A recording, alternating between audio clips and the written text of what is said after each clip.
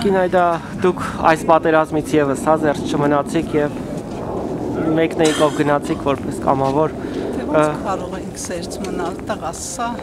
համազգային պատերազմ էր ու բոլորս պիտի այնտեղ լինեինք, բոլոր սանխատիր։ նախորդ անգամ դուք հաղթած վերադարձաք Այո, այո, նախորդ անգամ այո։ ինչու այսպես ստացվեց ձեր կարծիքով Դե ինչ ասեմ տղաս, ես այնտեղ սարի գլխին կանգնած եմ, ինչ իմանամ, ինչու այդպես ստացվեց։ Մենք այնտեղ թալիշ մադաղիսում էինք կանգնած։ Մենք ոնց գնացել ենք այնտեղ մեր ջոկատով 51-65 հատուկ ջոկատը կարմիր բերետավորների ոչ մի քայլ հետ չենք նահանջել։ Մենք որ գնացել ենք արդեն թալիշ մադաղիսը ընկել էր, բայց որտեղ կանգնել ենք, մենք մի քայլ հետ չենք նահանջել։ Դե հիմա ունենք այն ինչ ունենք։ ինչ պիտի անենք հիմա ինչ դասեր պիտի քաղենք տիկին այդա այսօր արդեն պատերազմից անցել է ուղիղ 2 ամիս Դե դասերը մենք շատ վաղուց քաղած պիտի լինեինք տղա ջան։ Այն ժամանակ որ Ալիևը անոթաչու սարքեր էր առնում, սմերչեր ու չգիտեմ ինչեր էր առնում։ Դու չես կարա ավտոմատով դրանց դեմ կռվես։ Սա 92-ի պատերազմը չէ, բայց հիմա առաջնահերթ, առաջնահերթ հարկավոր է մեր գերիներին փոխանակել բերել։ Հարկավոր է մեր անհայտ կորածների հարցերով հետաքրքրվել։ Հարկավոր բազմաթիվ ծանր ոտք ու ձեռք կորցրած վիրավորներ ունենք պրոտեզավորել նորմալ պրոտեզներով այդ տղաներին։ Հիմա փարքաս ունենց պրոտեզներ են սարքում, որ քայլի չես էլ զգա, որ ինքը պրոտեզների վրա է։ Ես կարծում եմ հիմա մեր առաջնային գործը դա է գերիներ, անհայտ կորածներ, դիագների փոխանակում շատ արագ եւ պրոտեզավորում այդ ծանր վիրավորները, ովքեր որ պետք է արտասահմանում բուժվեն, ամբողջ գումարը պիտի ներդրվի տեղ, որ այդ երեխաները գնան բուժվեն ու վերադառնան։ Իսկ տարածքների հետ կապված այլևս որևէ հույս չենք կարող ունենալ։ Դե հույս կարող է, ոչ թե շուտ սա նորից է լինելու տղաս։ Հələ հիշեք 70 տարի հետո, հələ հիշեք 90-ականները, հիշեք 16-ը, հիշեք 18-ը, 20-ը, սա Սա անվերջանալի բան է, բայց հիմա առաջնա չէ, իհարկե ոչ, մենք չենք կարող այսպես նստել ու սպասել, բայց որpիսի մենք կարողանանք մեր տարածքները հետ բերենք, մենք պիտի զինվենք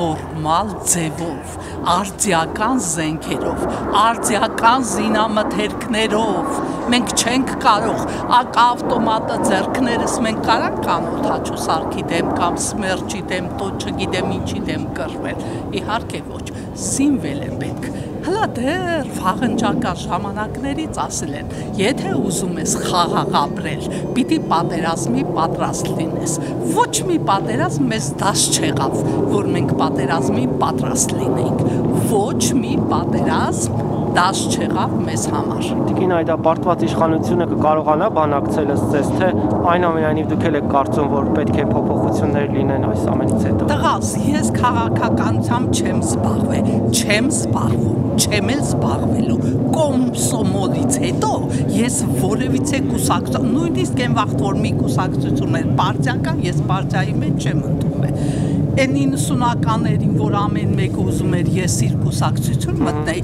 ես ասում եմ, ես հայ եմ ու հայրենասեր։ Հայրենիքը պաշտպանելու համար որևիցե կուսակցության մեջ պարտադիր չի որ լինես։ Ու ես այս բոլոր պատերազմները անկուսակցական եմ անցել։ Ես գտնում եմ, որ ազգային ժողովում մենք կռվողների մեջ շատ ունենք կիրթ, գրագետ, տարաճանաչ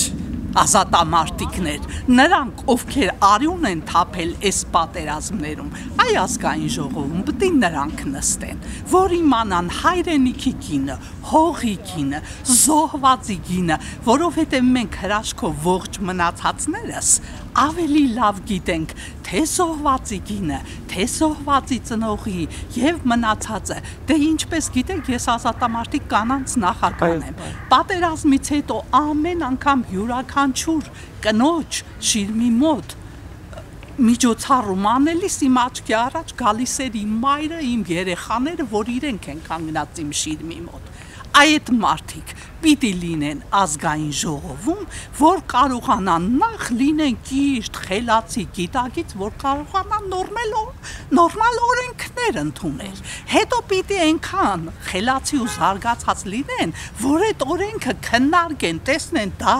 ընդունելու է, թե մերժելու է հասկանում եք, այն գլխից եկան անտառա ճանաչ պատգամավորները,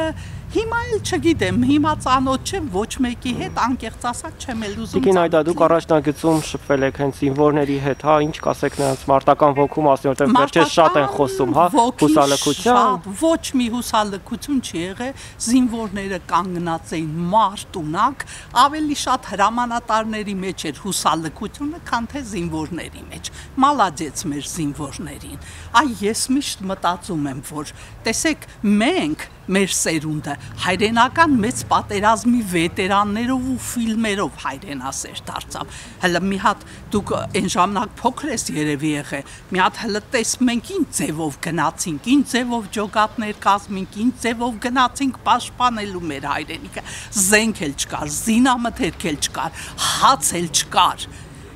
սոված էինք էլ անտառում շակալու եսի ինչ չմնաց որ չկերանք բայց որևիցե մեկի մտքով չա իհարկե լքողները այն գլխից փախել էին արդեն, իսկ ովքեր կամավոր գնացել էին կանգնեցին մինչև վերջ։ Չհաշված, ասենք մի քանիսը, որ թալանի համար էին այնտեղ եկել։ Հիմնական մասը հայրենասիրությունից դրթված գնաց պատերազմ։ Ի վերջո մենք պարտվեցինք ռազմաճակատում, թե դիվանագիտության մեջ ձեր կարծիք։ Ռազմաճակատում ես չէի ասի մենք պարտվեցինք։ Ուղղակի մենք չկարողացանք ավտոմատով կռվել անօթաչու թռչող սարքերի դեմ